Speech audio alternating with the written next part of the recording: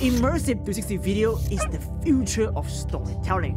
And thanks to 8K camera like the Insta360 X5, it's now more affordable than ever to create your own immersive experience for YouTube VR, Meta Quest, and even Apple Vision Pro. But here's the catch.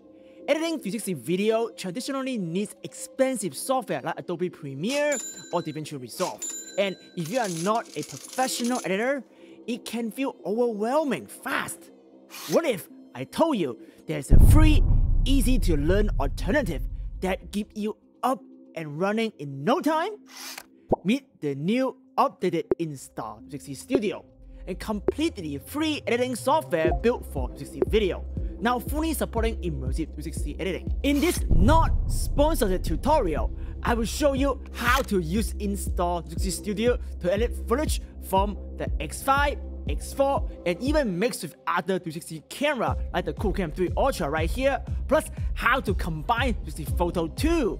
I will walk you through publishing your finished work to YouTube VR and Apple Vision Pro in full 8K, and even show you how to integrate with DaVinci Resolve and use AI to convert monoscopic 360 video to stereoscopic spatial 360 live inside Apple Vision Pro. By the end of this tutorial, you will be ready to tell your own immersive stories with just a 360 camera.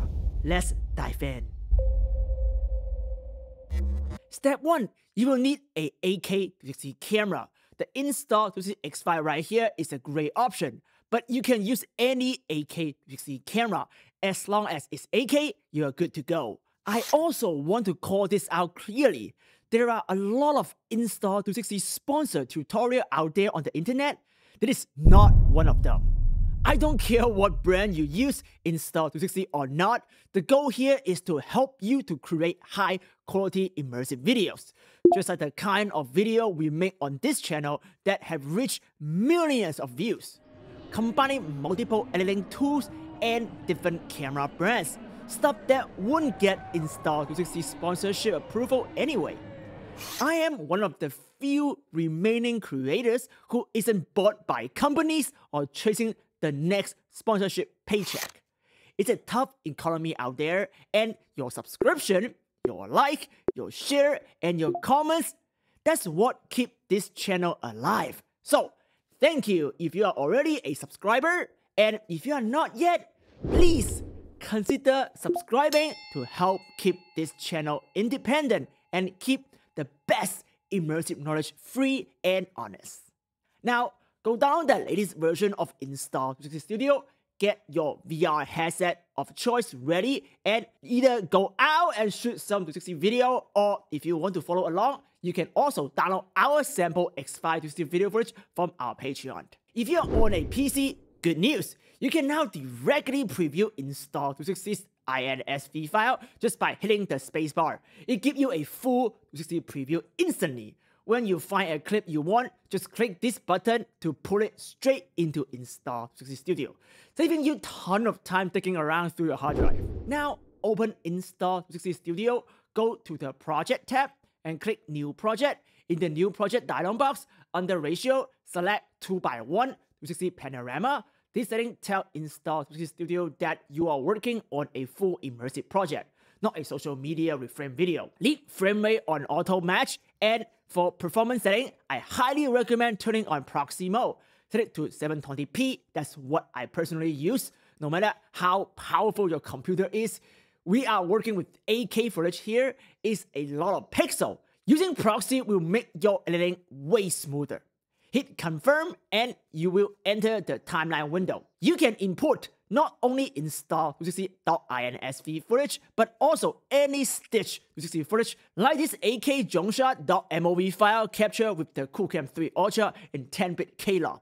Let's drop in some X5 footage as well. Go to Menu, then Setting, Preferences, and make sure hardware acceleration is checked. If you have a GPU, it will speed up your editing. But if you're experiencing crashing, that might be the cause, so uncheck it should fix the crashing with the trade-off of a slightly slower preview and longer rendering time. Back to the media window, if you see this yellow progressing circle, it means Insta360 Studio is generating proxy in the background. I suggest you wait until it finishes. Now, drop in the first strong shot shot from the Insta360 X5, then drop in the Qoocam 3 Ultra clip right after. Here, I want to give Insta360 a big thank you for letting editor like us use footage from any 360 camera without any restriction. This feature makes this app truly useful, a real alternative to expensive software like Adobe Premiere or DaVinci Resolve. The Qoocam 3 Ultra footage is shot in a 10-bit K-Log. You could try using Color Plus, but it's better to manually color grade using Adjust. Adjust is like a mini DaVinci Resolve color page built right inside your Insta360 Studio. Very powerful tool, I highly recommend you experiment with it. You can get really good color result once you master it. Click the 360 monitor button right here or just hit the keyboard shortcut G to go into immersive mode. Just like Adobe Premiere, here you can examine your footage the way it will look in YouTube VR. Now go ahead and trim your clip, just like how you would in 2D video editing. On the Insta360X5 drone shot right here, make sure FlowState stabilization is on but turn off direction lock. In 360 video, you don't want direction lock for moving shot unless you enjoy making your viewer motion sick in VR. Direction lock forces the viewer to turn their head in VR, which is bad. In immersive editing, you want to give the viewer the agency to look around freely, not forcing them to look where you want them to look. This is also why there's no animation feature in Insta360 Studio Immersive Editing mode. You can't right click to create keyframe like you, you can in 2D with frame mode. That's exactly why they don't want to make viewer vomit. Let's also turn on AI Stitch and Color Plus. Let's install to see AI help us to get better image without heavy manual color grading. If you go back to 360 monitor mode, you will see the X5 drone shot is pointing forward, which is good. But the next shot from the Qoocam 3 Ultra is pointing in the wrong direction. We are going to fix that using the most important tool in 360 video editing, Reorient. Under the Video tab, click Reorient. Now pan the video until the center of your image is flying forward. Since the Qoocam shot here is just a duplication of the first X5 drone shot, let's just not use it. Instead, let's drop in a kimchi low angle shot, way more interesting for storytelling. From the sky down to the ground in the same motion. Check it in 360 monitor, you will see that the forward direction isn't perfectly aligned yet using reorient again to pan it so the road is straight ahead. And if you look around, you will spot our superstar Kimchi in the shot. It makes a really fun shot in Immersive 360. You can even use speed change and motion blur on 360 footage, but we will keep it at normal speed for now. Now let's talk about transitions. Cutting from the shot to Kimchi running forward feel a bit abrupt and could make some viewer motion sick, especially if you are new to immersive video on Apple Vision Pro or Meta Quest 3. We are going to fix that by adding a transition. Go to the transition tab and drop in a fade to black. Extend it a little to mimic the natural eye blinking. Much better. If playback looks choppy, it's because my PC is proxy rendering, speed recording, screen recording, and playing back 8K footage all at once. But trust me, the transition is smooth. You can also use fade to white instead of black if you want to create a more shocking effect. Bright flash tend to alert viewers, a very good trick if you want them to really pay attention to what's coming next. These are the only two transitions that work properly in immersive 360 mode right now. None of the other work, so don't use them. I personally like fade to black because it gives viewer a natural resting moment for the next scene. Actually, I decided to pan the forward direction to face Kimchi directly because I don't want viewer to miss his cute face. This is kind of the creative choice you get to make in 360 editing. By the way, you will notice the proxy generation is done now. The image quality looks lower, but playback is much smoother. That's why proxies are so important. or we use them for better editing experience. Now go ahead and add your next cut and trim it. I'm going to end this story with a 360 selfie in the flower fields, just a 360 photo. You can mix 360 image and 360 video shot on the X5 together in the same edit. Insta360 Studio handle the resolution mismatch automatically. No stitch down you need to worry about.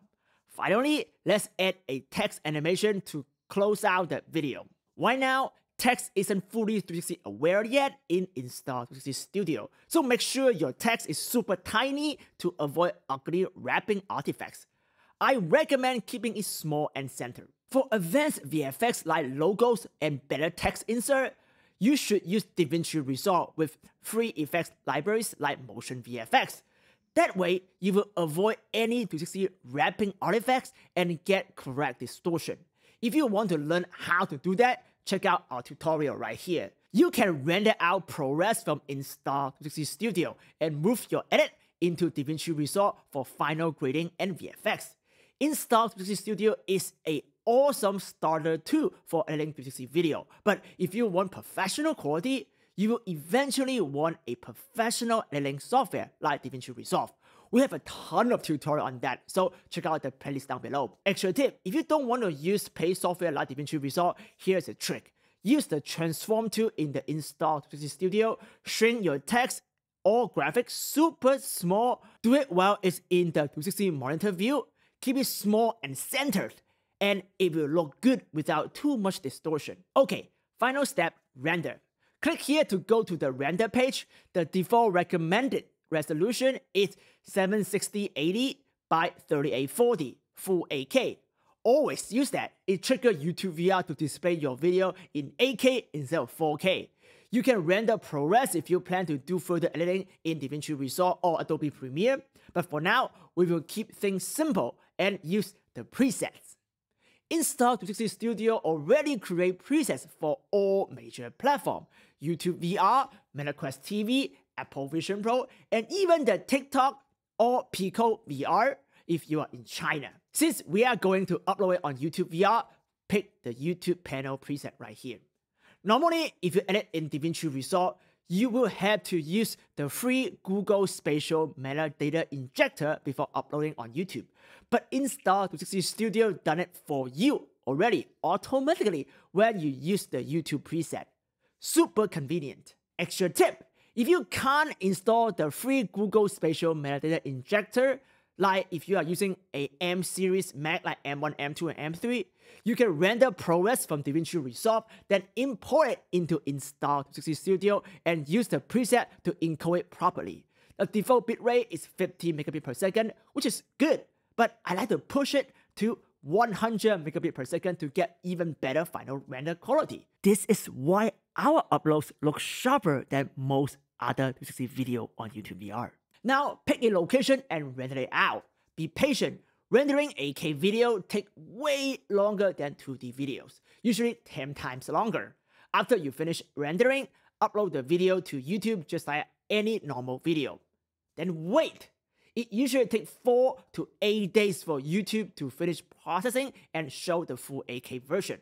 At first, you will only see 4K, but trust me, it will become 8K eventually. What about Apple Vision Pro? Pick the Apple Vision Pro preset right here. You can push the bitrate even higher, somewhere around 120 to 150 megabit per second for best result. Render it out. Then download our free app Spatial Film from the App Store. It's 100% free for local playback. Transfer your render video to your Apple Vision Pro using iCloud or AirDrop. Put it into your File apps or download folder. Open Spatial Film, tap Load File, and load your 360 video. Make sure you click 360 to tell the app is immersive footage. Voila! You are now fully immersed in 360 inside your Apple Vision Pro with your own video. To take things one step further, you can actually use AI to boost your X5 video quality using the processing power of the Vision Pro. You can even use AI to convert monoscopic 2D 360 video into stereoscopic spatial 360. All you need is the Vision OS app Moon Player, and I have an in-depth tutorial for it right here. Open your 360 video in Moon Player, just like how you did in Spatial Film, but this time, make sure you select VR 360 and Mono. Moonplayer support more format than my app Spatial Film, so it should play your video footage just fine. Now you can turn on quality boost to upscale your footage to a higher resolution in real time with AI. You can also try the real-time 3D feature to convert your footage into spatial 3D. Just a heads up, the real-time 3D quality isn't perfect yet, they're still turning the AI, but it's exciting to see where it is heading. For better result, you can check out my other tutorial right here on how to fully convert X4 or X5 monoscopic 360 footage into true stereoscopic 360. With AI, the sky is the limit and you don't need to spend $70,000 on a crazy expensive 3D 360 camera as a Meta 4. This is a great way to preserve important life moment, your child's first birth, a wedding, or any milestone you want to relive forever. So grab a Insta360X5 or any good 360 camera, learn this free editing workflow, and start telling your story. Drop us a comment if you get stuck. Kimchi will help you out. Okay, you should now have everything you need to edit your first immersive 360 video. But just a heads up, while Insta360 Studio is free and powerful, it still has a lot of limitation. It doesn't offer fancy 360 transition like Adobe Premiere does. You also can't easily insert your own graphic, logo, or text. And you wouldn't be able to integrate 2D video into your 360 editing like you saw here. If you are a professional creator and want to push your skill even further, check out this in-depth 360 editing tutorial for Adobe Premiere and this VFX series for DaVinci Resolve. And if you want to keep leveling up your immersive filmmaking skill, make sure to subscribe and hit the notification bell so you don't miss the next big tutorial. If you are still interested in joining our 1RS 1inch giveaway, the list will be closing soon, so drop a comment on my Instagram before it's too late. I will see you soon. Ciao.